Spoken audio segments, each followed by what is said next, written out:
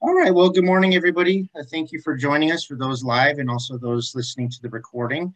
Welcome. Uh, so we are in the middle of a series called the Wilderness Mentalities. This is actually part five of this mini series, uh, but it's actually the bigger series we're doing is from Battlefield of the Mind, which is a book from uh, Joyce Meyer that we've been reading chapter by chapter and teaching uh, the messages and lessons from the book. So, um, so today uh, we're going to be looking at wilderness mentality number five, which I'm going to share what that is in a, in a second.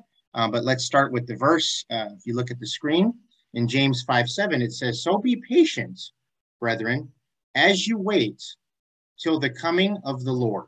See how the farmer waits expectantly for the precious harvest from the land.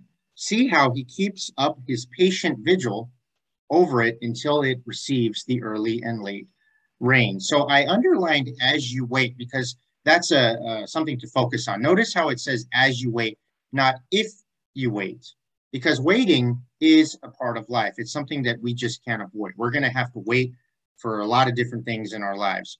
But for many of us, we just don't know how to wait very well. Now, here's the basic truth. If you look at your uh, notes or the, the slide on your screen, it says, in life, we will be waiting more than receiving. So that's the truth of life. We're going to be waiting more than we receive something. Uh, waiting is just, as I said, part of life. It's something that we have to learn how to do. We have to learn to develop a healthy attitude when we're waiting. Um, so here's how the process should look like when it comes to when we're asking God and praying to God. So step one is we ask God for something in prayer with belief that he's going to answer it in his way and his timing.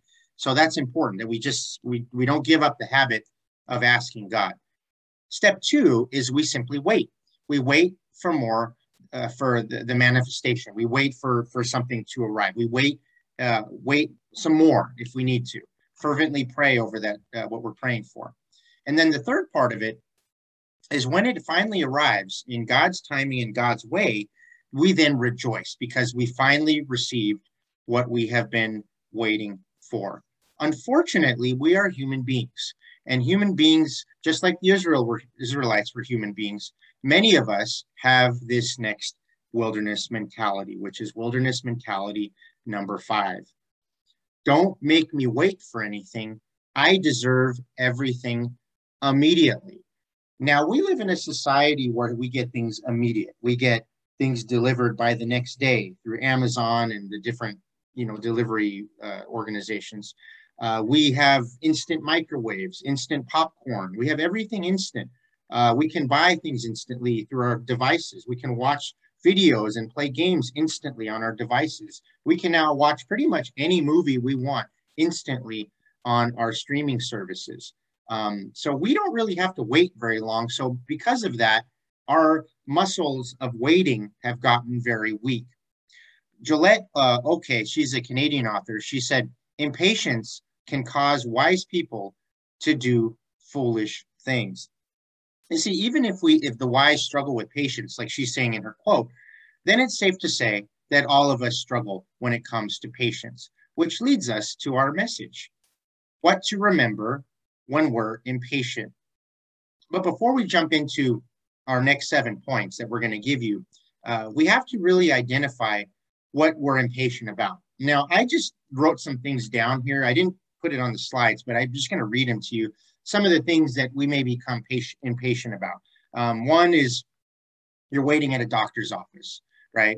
And it's funny because you wait in the in the lobby, and then sometimes you have to wait in another room uh, for like another half hour until the doctor comes. So you're waiting a lot of times for a long time. If you're in the emergency room, if you go to ER, you'll have to wait hours many times to be seen. Um, so, you know, waiting is just inevitable when you're getting seen medically. Um, many of us wait in long lines, whether it be at the gas station uh, or, or not, or at uh, the grocery store or at Starbucks or some of the different places. We have long lines we have to wait in. Um, a friend of mine just mentioned the gas station at Costco. He went to Costco and he was waiting in a long line. There was cars behind him and he was stuck. And he was actually ended up being late for work because he was stuck in the long line at Costco. Um, many of us don't want to wait when it comes to relationships. We, we don't want to do it God's way. We're impatient. we want to jump into a new relationship or we want to you know kind of uh, do what we do in relationships right without putting god first um, many of us are, are not patient when it comes to our kids right? Um, or especially when they become teenagers we, we lose patience even more when they become teenagers sometimes. Some of us are just not patient um, when it comes to somebody not understanding you or if you say something to them and we're, the person is not getting it we tend to not be patient with that person that they're not understanding us the way we want them to um, or agreeing with us the way we want them to. Um, or here's another one uh, when somebody closest to you hurts you right? When we forget that hurt people hurt people and we become impatient with those people. And so we have sometimes we have family members in our lives that we call them egrs extra grace required right? We're impatient when it comes to them. We just don't like being around them. But regardless of the type of impatience that it is that we struggle with um, these, you know, it, it usually revolves around one of these seven deadly sins. If you look at your notes in the screen, it says number one, impatience is the fruit of pride. Now, as much as we hate to admit it, every time we're impatient, we are in that exact moment acting prideful. We may not believe it or not, but it's true. Every time we're upset with the waiter for bringing the wrong order, or, or keeping us waiting for a little while. That's pride. Pride is at the center of that. Every time we get angry at a telemarketer, and trust me, I struggle with telemarketers myself. They always seem to call at the worst time. Every time we get angry at a telemarketer for calling us, that's pride. There's a big difference between righteous anger, which is getting angry about what God gets angry about, and, and, and the, these little things, these little inconveniences that, that we have.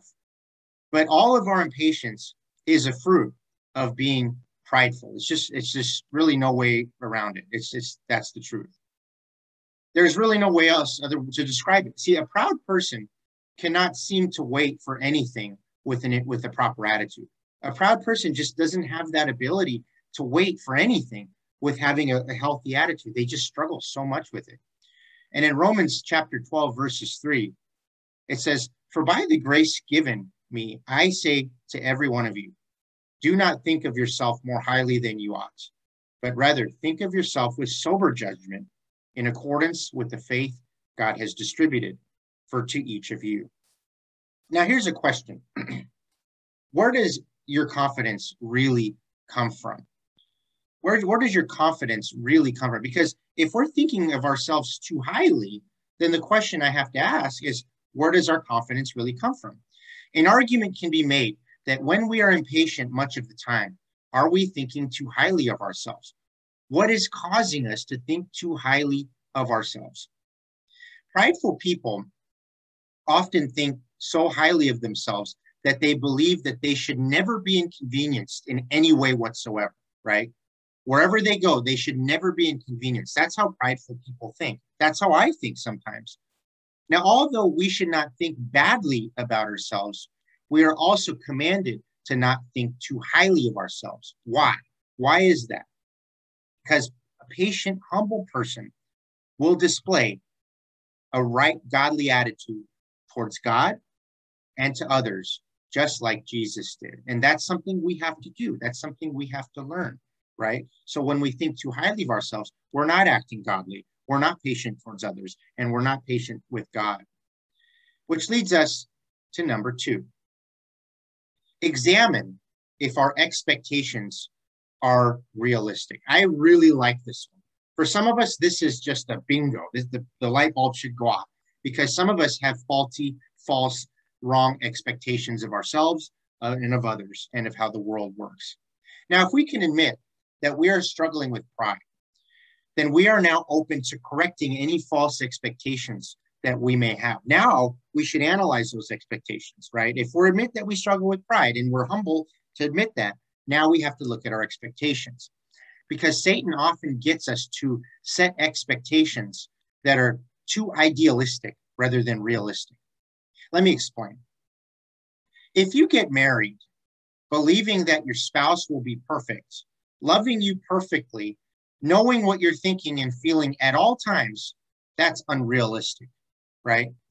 If you're believing that your boss should word everything perfectly in emails, verbally and manage everything perfectly, that's unrealistic.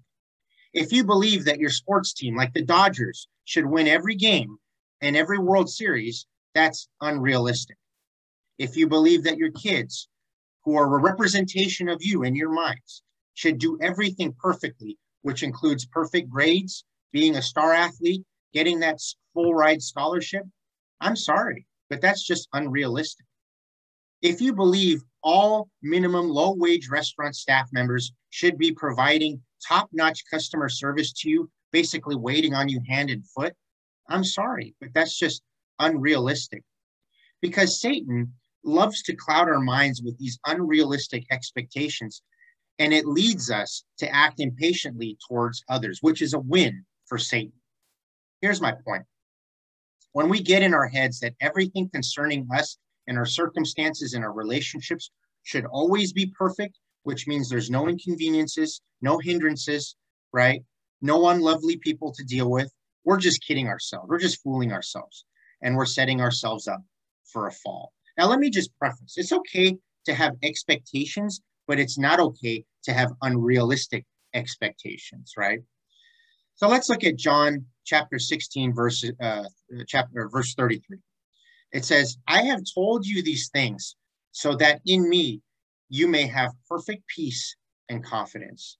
In the world, you have tribulation and trials and distress and frustration. But be of good cheer. Take courage, be confident, certain, and undaunted. For I have overcome the world. I have deprived it of power to harm you and have conquered it for you. Impatience is one area that seems to manifest when we are not yoked to Jesus. Because if you study Jesus, you'll know that he was never in a hurry. He was often interrupted, right? He was, oh, but he always made time for people, right?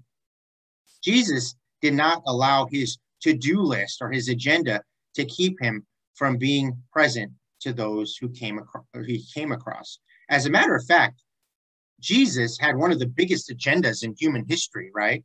And he fulfilled it. He conquered it for us, right? As it says in the underline there, he conquered it for us. He fulfilled his mission and he never rushed. He never was in a hurry. That's amazing, right? He did it with patience. He, he was patient and accepted the process. Patient for us when he was nailed on the cross for all of us because we put him there. So he always displayed patience. He always displayed patience. And we have to look at that and we have to model. That's a model for all of us to follow, which leads us to the third one. Patience is not your ability to wait, but your ability to maintain a good attitude while waiting. Let me repeat that one. Patience is not your ability to wait, but your ability to maintain a good attitude while waiting. It is this faithful, trusting, humble attitude that is the secret ingredient we need to endure during situations that others would most likely become impatient. It's the secret sauce of learning how to be patient in difficult times. It is accepting imperfections and inconveniences as pretty much happening every day, right? We just know it's going to happen and we're prepared for them with the right attitude and the right perspective. It's letting go of our pride and our false expectations on the world around us and the people close to us and even ourselves.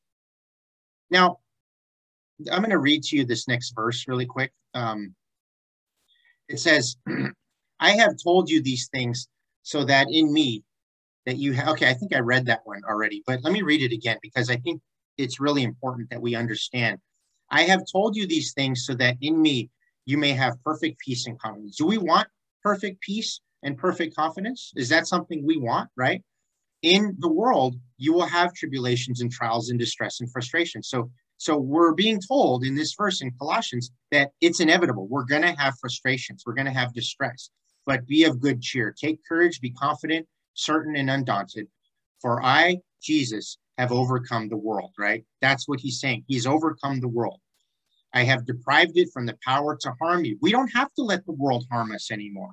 We don't. We don't have to get frustrated and impatient and have our stress levels and our cortisol levels go up like we talked about last week. We can choose to not do that. And we can recognize that Jesus has conquered the world. So I'm going to leave you with this final tool. Uh, this is from um, Mary Lou Kaske. She's an author, a speaker, and a, and a Christian coach. She came up with these self-reflection questions that I just wanted to leave with you. Um, so whenever you struggle with patience, you can ask yourselves these five questions. And they are, am I flexible, right? Am I being flexible? Or am I being too, too stubborn? Am I being too rigid? Am I trying to do everything by the book or, or not, um, don't have any flexibility at all in this situation, right? Am I being realistic? Or is my expectations unrealistic? Often idealistic, right? Am I letting go of control? Am I still trying to keep control over everything and, and just have a tight grip over every area and every role in my life? Or am I surrendering that to God, especially when I don't have control? Am I being compassionate with somebody that's hurting, right? Hurt people hurt people, right? Am I being compassionate with that person? Or am I just taking their words at face value, right? Am I enjoying this moment right now? Are you struggling even like at Disneyland or, or things where we should be enjoying the moment? Are we just stressing out all the time? Are we impatient over little, little things and finding that one little thing to get angry about? Um, so these are five really important questions to really identify where we're struggling in that moment of impatience. So, so keep these if you have your notes or if you want to maybe save this or take a screenshot of this or write them down. These are really good questions that we can ask ourselves um, when it comes to impatience that we can help identify. So really what, what's going on in our minds that we need to, so we need to surrender to God and maybe correct that thinking, so to speak. Let us pray. Heavenly Father, Lord, thank you so much for this message. Thank you for teaching us about how to overcome patience. Uh, this is just the first half. I'm excited with what my mom is going to say. Um, Lord, you know, there's times where we become impatient, whether it be relational impatience, circumstantial impatience, financial impatience, um, or whatever it may be. Um, Lord, help us to really ask these questions of ourselves. Am I struggling with being, with not being flexible? Am I having expectations that are unrealistic? Um, am I trying to play God and, and, and take control of every area of my life uh, and the people in my life? Um, am I being compassionate with those around me? Um, am I simply not enjoying moments that I really should be enjoying? Or what is it? What am I struggling with? So identify. So point those out to me. Um, identify those areas. Help me to identify those areas so that I can work on those with you, Lord. And Lord, help me to remind me when I am impatient that it's not about me getting my way. It's not about me being right. It's not about me uh, getting the service that I believe I'm entitled to. It's simply about me being prideful. And that's something I have to remind myself of every time I'm impatient. Because, Lord, you want to teach me not just to wait, but to but to wait with a good attitude like Jesus did. And that's what I want. That's what I want to be. I want to be like Jesus. I don't want to be like this next impatient person that comes along that the world teaches. I don't want to be that. I want to be what you want me to be, Lord Jesus. So Lord, just be with us as we continue to have the onion the onion layers peeled in this area. And I know it'll sting, but Lord, it's essential if we are going to grow in patience. In Jesus' name we pray. Amen. Amen. Thanks, Chris. Thank you.